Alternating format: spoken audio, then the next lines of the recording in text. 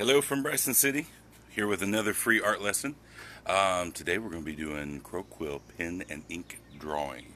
So I know some of you are like, what is that? So, um, real quickly, you guys may have seen these pen sets where they do calligraphy, and um, it's um,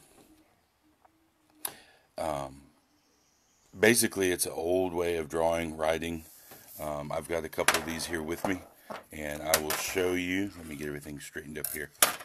Um, but uh, if you ever watched on some of these older movies, older older Disney movies, uh, well, the best example is uh, Christmas Carol. Um, if you'll notice, um, Bob Cratchit has his quill, and he dips it in the ink well before he writes. Essentially, that's what it is, a crow quill pen. Um, so I've got my paper here. I've got some pens here. I'm going to demonstrate a little bit of drawing. Um, I'm going to be making something up as far as my drawing topic. So um, I'm going to be making um, um, probably I'll just draw like a like maybe a cabin in the woods kind of a thing. That's what I was thinking. Um, these really lend themselves uh, to a more methodical and calm way of drawing. Um, you have to kind of be patient with them. Uh, a quill, the way it's designed, and I'll go ahead and turn around here so I can show you. So, now these are all holders, and of course in the end is is the quill. If I can get it to show up, there it is. So there's the quill. That's the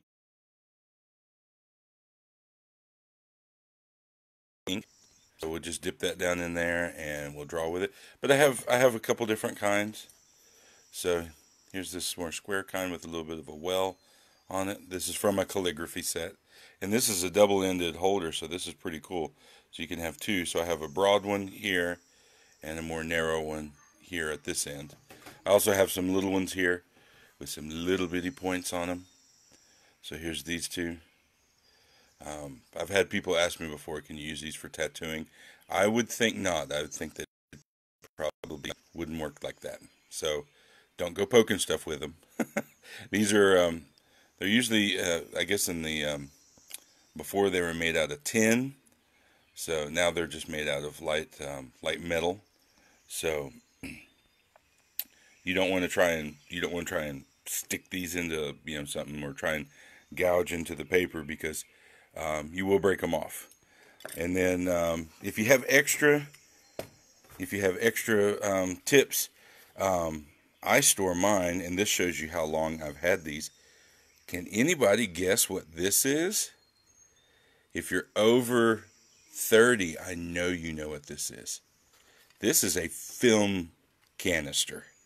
So I've had these long enough that um, you know I store my extras in here.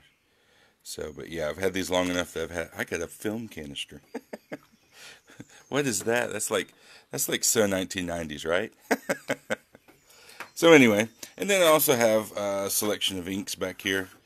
Um, the two most popular brands of inks. I'm, I'm, there may be others that I'm not aware of, but my two favorites, um, Higgins. Um, you can get that anywhere. So here's like the permanent black ink. Um, you can get that, and also Winsor Newton. Um, they make um, colored inks. So here's their black India ink. Um, and then, of course, all the different colors that they have. A variety of, uh, you can buy a set of these still. These um, And Higgins also makes colors too. So the difference between Winsor Newton and Higgins ink is the Higgins ink is not water soluble. So when you draw with it, that's it. It's done. Um, you can rinse it off to clean up, but when it dries, it's done. The Winsor Newton ink is water soluble.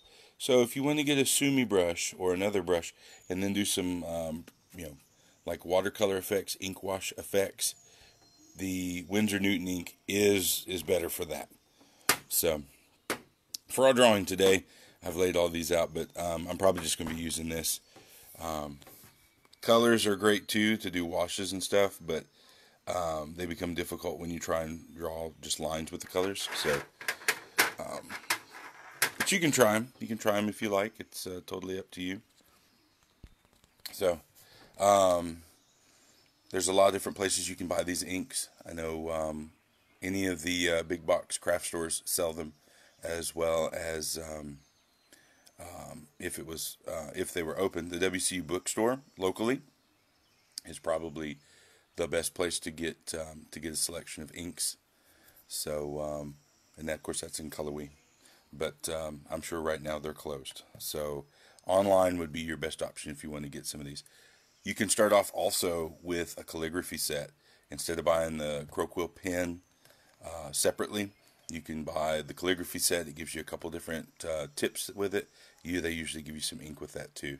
So so that's a good way to get started. But so anyway, I'm going to stick my camera in here and we'll get going. Let me slide my my stuff over here.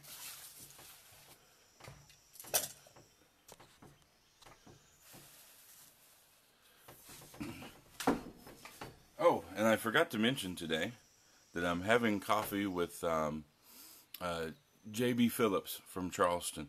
Uh, met him a few cool.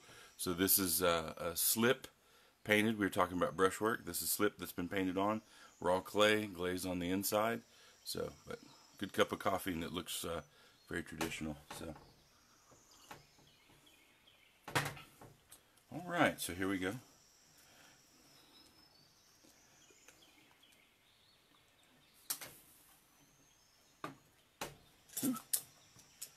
Dried up ink there on my paper. Let's get that off of here.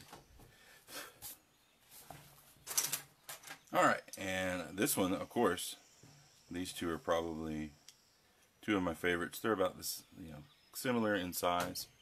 So um, we'll go with the old standby. And then I'm going to set this one over here too, just in case. So when you draw with a with a quill, um, you kind of need to make sure that you're going in one direction. So, so we'll start off this way and get it going here. That's one way to start. As Bob Ross would say, there's there's no mistakes, just happy accidents. So there we go. Our first ink drawing is that of a spider.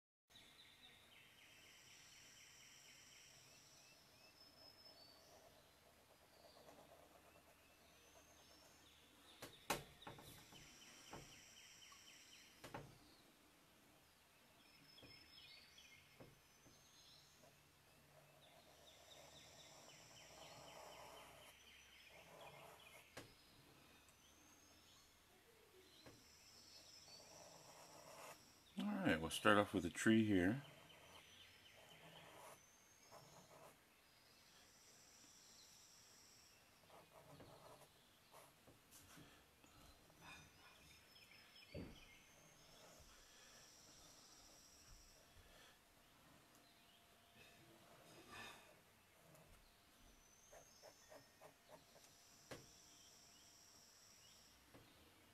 So I'm just making some marks. Trying to fill in the, this texture of this tree.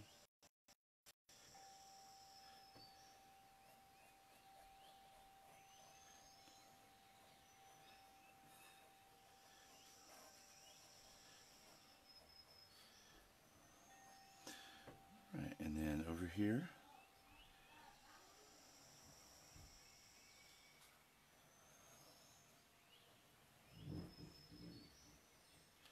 We'll start with the porch of our cabin.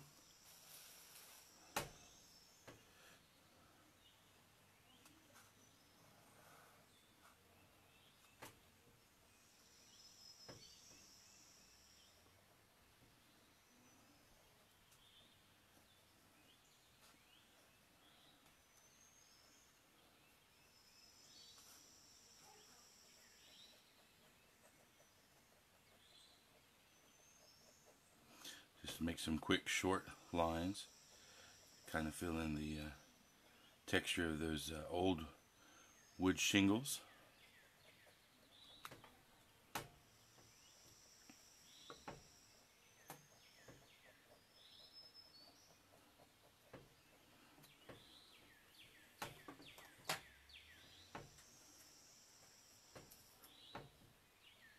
I'm gonna go with a little smaller point now rough in our our chimney. So this would have been rough rocks, so I'm just gonna make some squiggles and stuff to fill it in like rocks. There we go. Like I said, we're doing cabin in the woods. So here's our tree in the foreground. Put in our, our cabin here.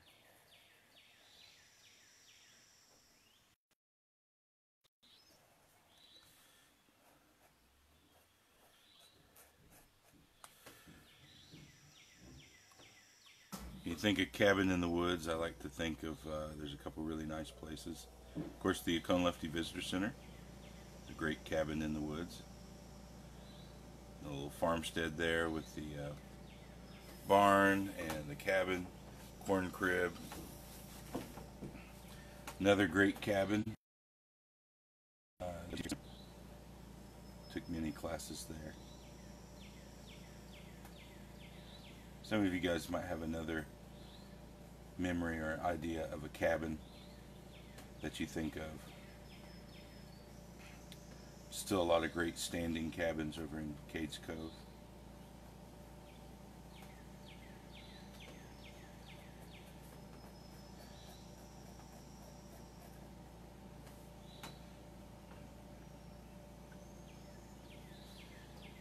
I'm going to put a, a window on this side.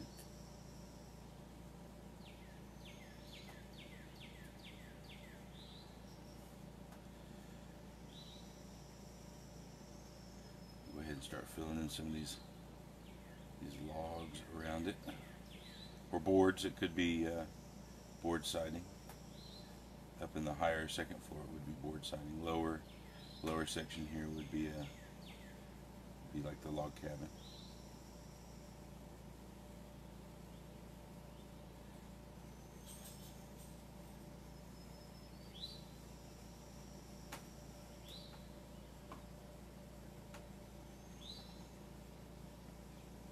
door here.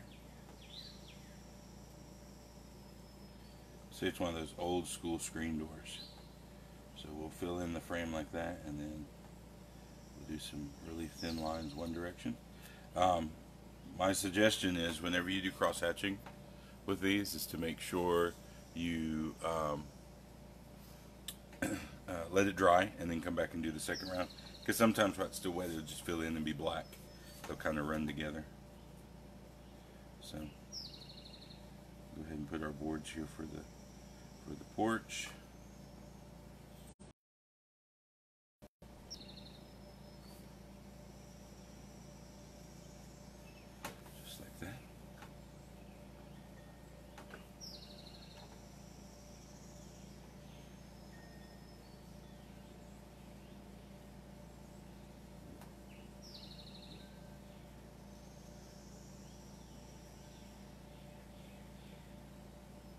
You gotta remember log cabin too. Modern homes have a lot of windows. Log cabins really didn't have that window that much. Part of it was to um, for insulation. The other part of it was that um, windows were expensive. windows were a luxury item.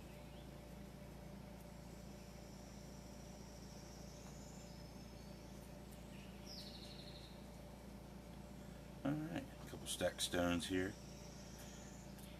A couple large stones piled up here as steps. Okay. will go ahead and put a smaller tree back here behind our cabin to kind of juxtapose off of this bigger tree in the in the foreground up here and our spider.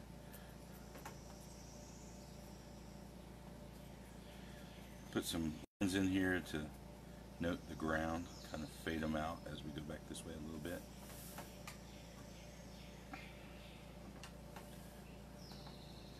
Go ahead and draw some leaves on this tree. Fill it in a little bit.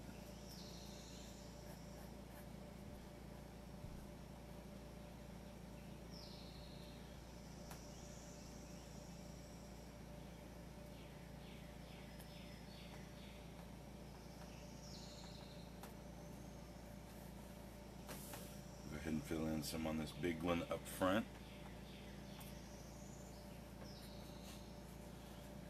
Like so. There we go.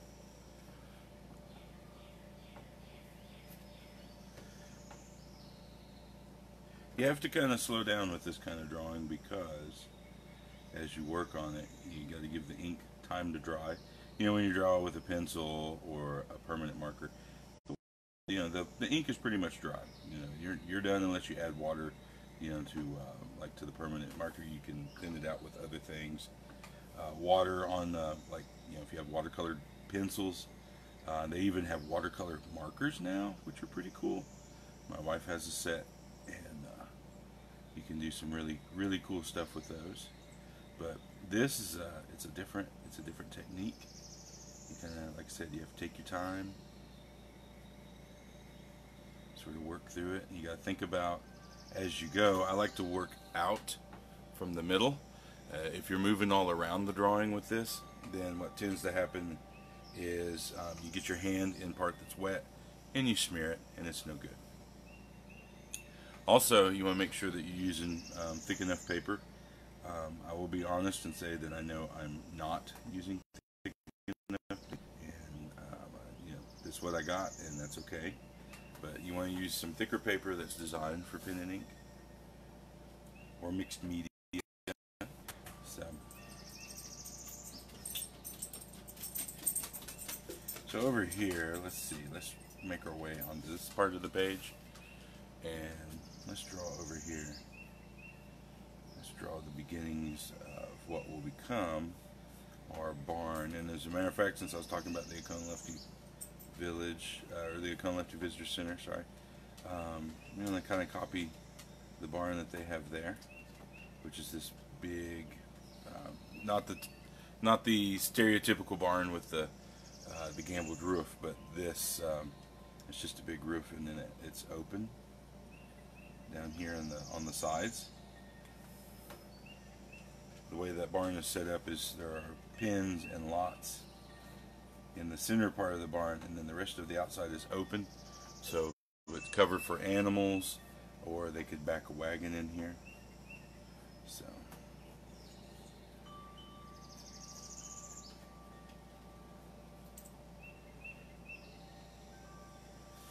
Alright, now I'm going to actually turn my paper to make this a little, a little easier for myself. So this would have been covered with boards. Boards that were probably, uh, especially that that uh, the, Oconaluftee farmstead, those boards were probably milled and cut at the sawmill at Ravensford.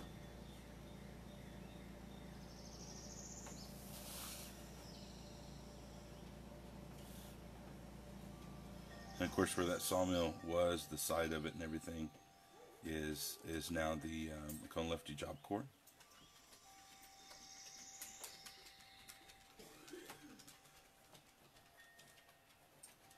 So the bottom part of this is stacked logs, and there's no mud or anything between the logs so the air can get through for the animals and stuff.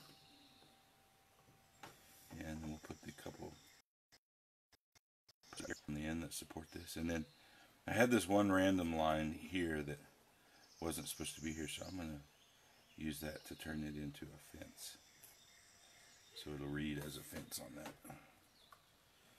And then um, I'm going to fill in this loft area. I'm just going to make it dark. So the first part of that is just putting in that group of lines. And in this area.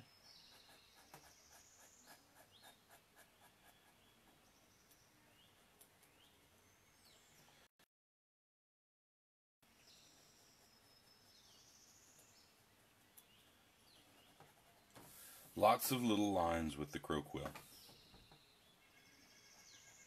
The depending on how much pressure you put on your pen, determines how much ink comes out. So if you really push down hard, you'll get a lot of ink. You push down very lightly, you can make some very fine lines. Um, the only other, I think, the only other art form that you can kind of get this this kind of line work is uh, etching and dry point on the printing press. So, and then we'll link all this together with some, with the ground here.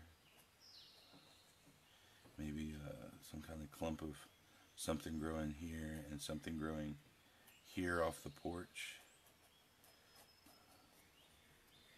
Maybe some stones. Maybe they would have had some stones in a circle on the way out to the to the barn like that. So those fine lines. More of those stones will make the path. They widen out back here as it gets to the barn. There we go.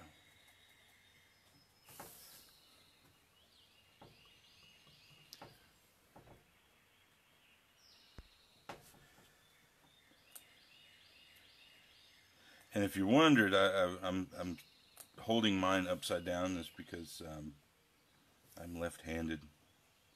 I know in the video um, it's mirrored and everything, but I'm left-handed, so uh, most of these crow quills, when you look at the uh, the bigger ones, the angle that's on the edge is angled for the direction of a right-handed person. So since I'm left-handed, I kind of have to hold them upside down to, to get them to work.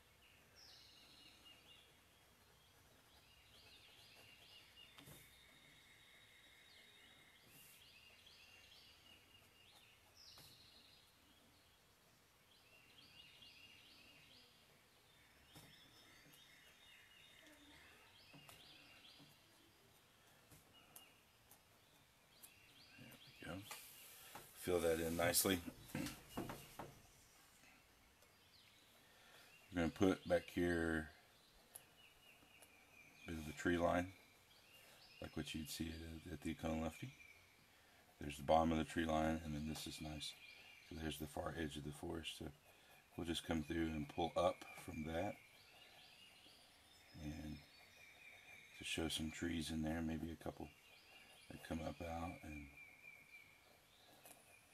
fill those in too. Connect those in, there we go. Just like that. Get our cabin in the woods going here. Now, let's get back to this area over here. Oh, almost forgot. Let me finish side first. let's go through here and let's go.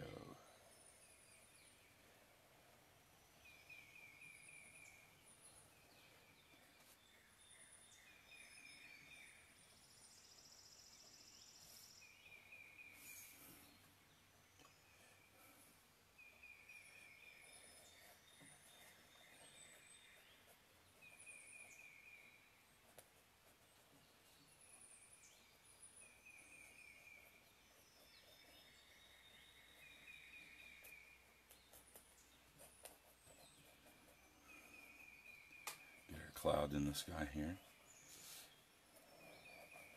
Flip this over and see if I can get it to work both ways. Thicken up the leaves on this tree. There we go. Work on this part so.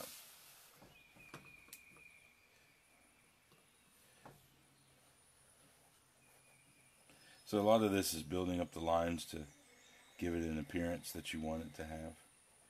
So we'll have this come through. Maybe this is a root right here. It disappears.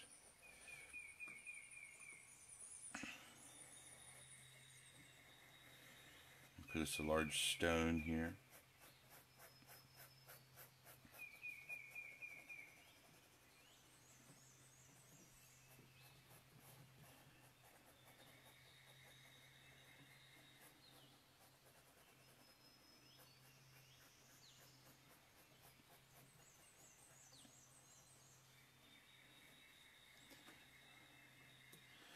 Do with our spider? Hmm, let me ponder on that some.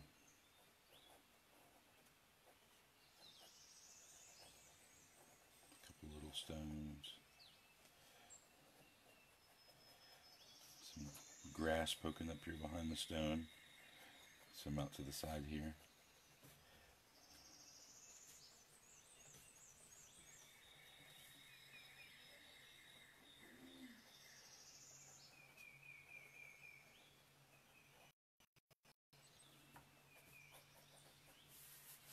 like that.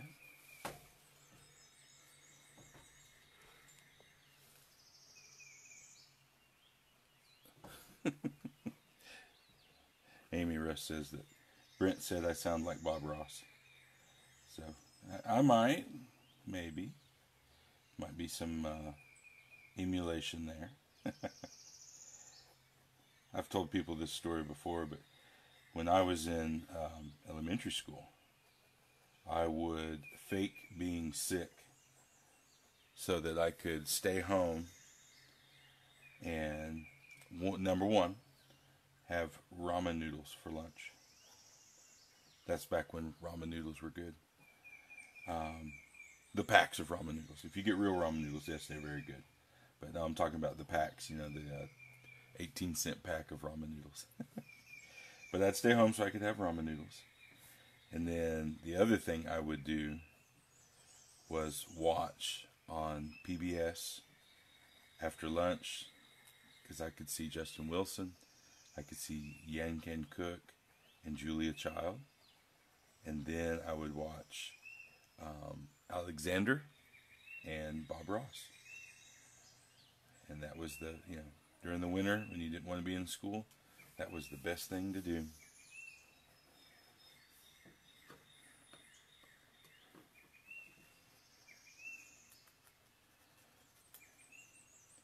So now, if you think of that in context, here we are now in 2020, all these years later, I'm staying at home and I'm sounding like Bob Ross. So, you know, no surprise.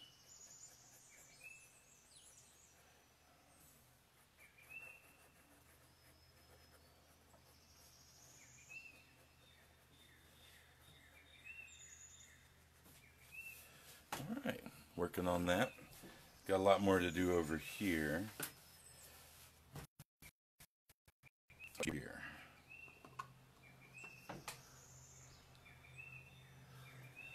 Hmm.